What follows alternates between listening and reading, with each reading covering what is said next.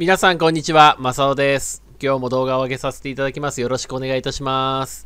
えっ、と、今日は2月の6日なんですが、えっ、と、1月ね、29日に武漢からあのチャーター便、第1便でね、帰ってきた方たちがいらっしゃいましたよね。で、その時の参議院予算委員会の模様をね、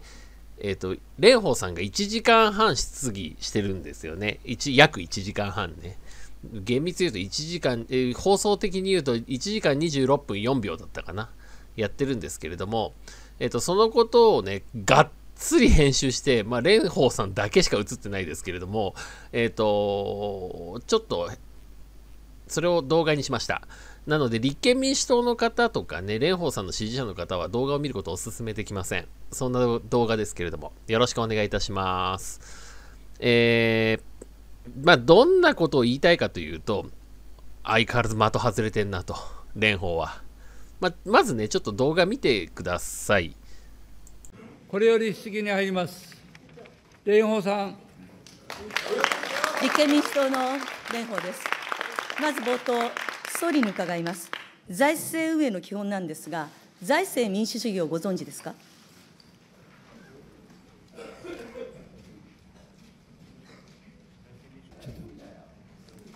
安倍内閣総理大臣、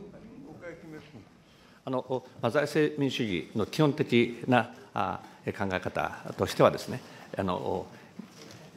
政政府があ予算を作成し、え国会に提出し、そしてえ国会においてご審議をいただきですね、そしてえ国会のおえーご承認をいただき、えそしてそれを執行していくということでございます。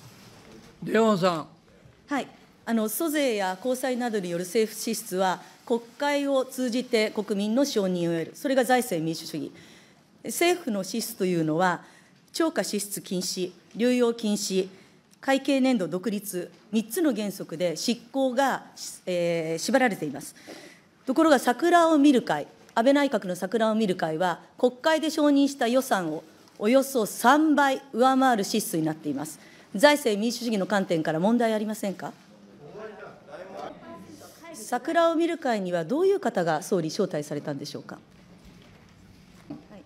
桜を見る会にはまあちょっとね、蓮舫さんに対して悪意のある編集ですけれども、ごめんなさい。なんですけど、まず一発目、えっと、武漢から帰ってきた話をしないとダメだと思うんですよね。で、いきなり、財政民主主義はご存知ですか？っていうところから始まるんですよね。で、そこから桜を見る会。まあ、動画の中では3回しか言ってないですけど、4回かな ?5 回ぐらい出てくるんですよね。桜を見る会っていうのがね。で、最終的には盛りかけ問題まで出してくるんです。で、と、内容としては、その、桜を見る会に招待したジャパンライフ、あの、逮捕されちゃいましたよね。あの、ちょっと悪い商売してた人。あの人のことについても触れてたりだとか、まあ、それ、ちなみに、今年さい、今年っていうか、去年の桜を見る会に招待されてないんですよね。もっと前、3年前かなんか招待されてるっていうことをやってるんですよね、確か。で、あと、えー公文書が破棄されたってことに対して、まあ、追及してるんですけど、まあ、それは確かに、まあ、蓮舫が言う通りなのかなとは思いますけれども、どうですかね？今、新型肺炎じゃねえの？って思うんですよね、僕は。で、僕がもし安倍総理だったら、まあ、安倍総理の心はどう思ってるか分かんないですけれども、蓮舫さん、今、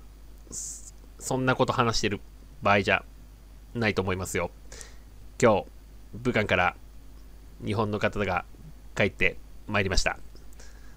そんな話をする前に、武漢のから帰ってくる方のお話をした方がいいんじゃないんでしょうかって言いたいと思うですよね。本当にね、昨日もあの、安住くんの話をしましたけれども、立憲民主党ってね、こう、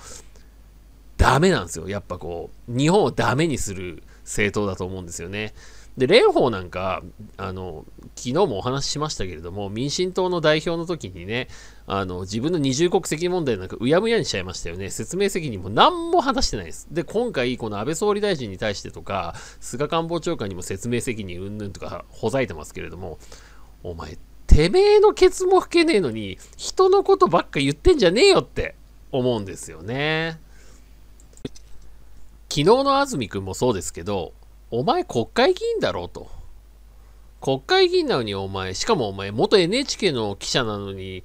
報道機関の論評してる場合じゃねえだろ、バカっていうのとかね。あと、蓮舫もね、お前1月29日の8時半にチャーター便が帰ってきて、お前桜を見る会を1時間半もかけてやってんじゃねえよって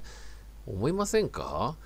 もうね、ほんと税金の無駄。僕ね、青色申告毎年してるんですけど、僕、税金今月、今月払うんですよね。ほんと不愉快ですよね、こういうのを見るとね。そして僕、何度も言いますけど、自民党の支持者じゃないんですよね。だけどね、もう自民党にしかね、入れざるを得ないんですよ。もうね、バカしかいなくて。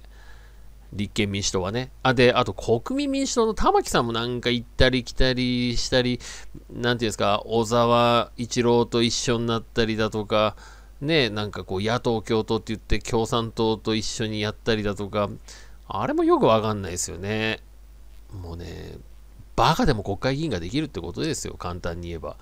まあ、自民党だってあの、ね、あの自衛隊をちゃんと、ね、法律に明記してなんて言ってたから僕は応援してましたけれども、全く進んでないじゃないですかね。もう本当にこう自衛隊の皆さんは激務をこなされてね、あの中国とかわけのわかんないかの国のね、脅威を守ってくださってるのに、なんかね、そういうの早くやってくんねえかなって、全く前に進んでいかないですよね、日本のこの政治が。まあ、とりあえずね、僕の今、本当に嫌いなのはね、立憲民主党なんですよ。蓮舫とかね、安住とかね、あと、枝野さんとかね、もうバカばっか、本当に。今回はちょっと短いんですけれども、まあ、とにかく蓮舫が本当に蓮舫がっていうごめんなさい、蓮舫だけじゃなくてですね、1月29日、武漢からあの不安な思いをされて帰ってきた方、そして国日本で待っている日本人のみんなも不安な思いをしている中、その日に参議院予算委員会で、予算委員会でですよ、桜を見る会で1時間半も国会を無駄に動かしてる、この立憲民主党についてちょっと晒してやりたいなと思って、ちょっと動画にさせていただきました。まあ、昨日の安住くん、2月4日のニュースの安住くんもそうですけれども、やっぱりね、ずれてるんですよね、どうしてもね。で、特に今回ずっと文句ばっか言ってますけれども、ちょっとね、もし例えば国会中継を見る機会がなかなかないとかね、そういう方がいらっしゃったらと思って、ちょっと悪意のある編集ですけれども、見ていただきました。今日はこんぐらいにしときます。ありがとうございました。